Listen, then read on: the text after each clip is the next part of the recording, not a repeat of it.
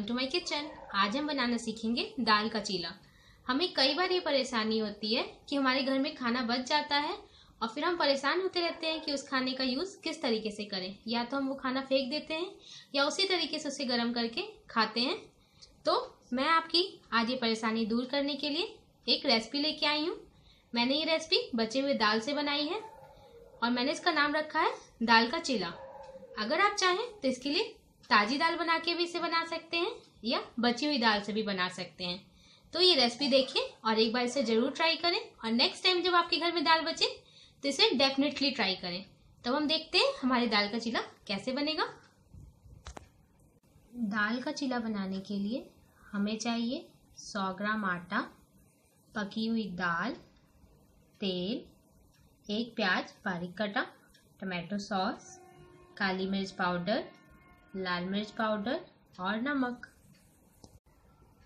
अब हमें चीला बनाने के लिए घोल तैयार करना है। उसके लिए एक कटोरे में हम आटा लेंगे। उसमें कटी हुई प्याज डालेंगे। नमक स्वाद अनुसार या एक चम्मच। लाल मिर्च पाउडर एक चम्मच। काली मिर्च पाउडर, एक चम्मच। सॉस, दो चम्मच।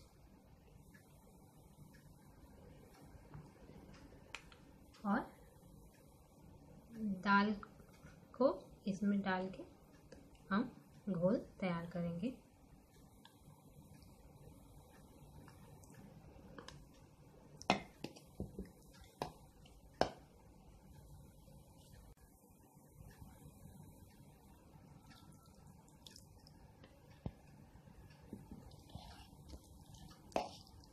मैंने इसमें दो कप दाल डाली है।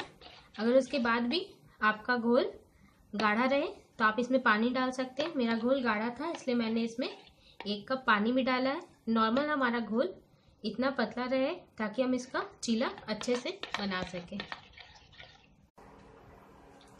अब हमें चीला बनाना है। उसके लिए पैन गरम करेंगे और उसमें हल्का सा तेल डालेंगे।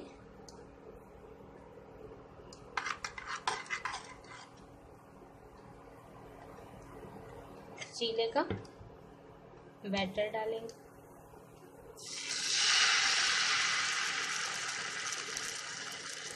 और इसे दो मिनट धीमी आँच पे ऐसे ही पकने देंगे। अब दो मिनट बाद जब हमारा चिला एक साइड से पक जाएगा तो हम इसे पलट लेंगे। और दूसरी साइड से भी हल्का पकने तक पकाएँगे अब चाहें तो हल्का सा साइड तेल भी डाल सकते हैं।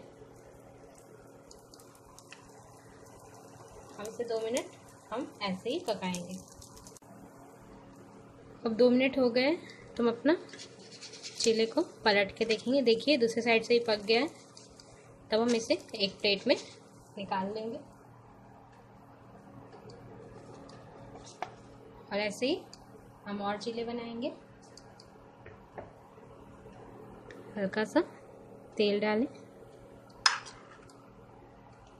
इस पर चिले का बैटर डालें। हल्का सा फैलाएँ और इसे भी दो मिनट धीमी आँच पे पकाएँगे।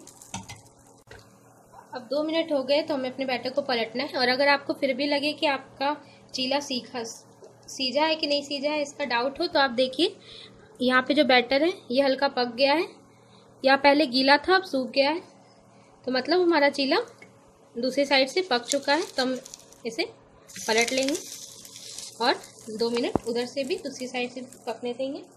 अगर आपको लगे कि आपका चीला नीचे से चिपक जाएगा तो आप हल्का सा तेल डाल सकती हैं। अब दो मिनट हम इसे पकाएँगे।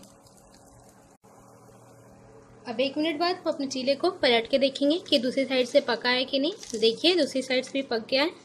तब हम इसे भी एक प्लेट में निकाल लेंगे। आप ऐसे ही जितने चीले चाहें, उतने बना लें। अब हमारा दाल का चीला तैयार है। अगर आपको मेरी वीडियो पसंद आई हो तो मेरी वीडियो को लाइक करें और अपने फ्रेंड्स के साथ शेयर करें।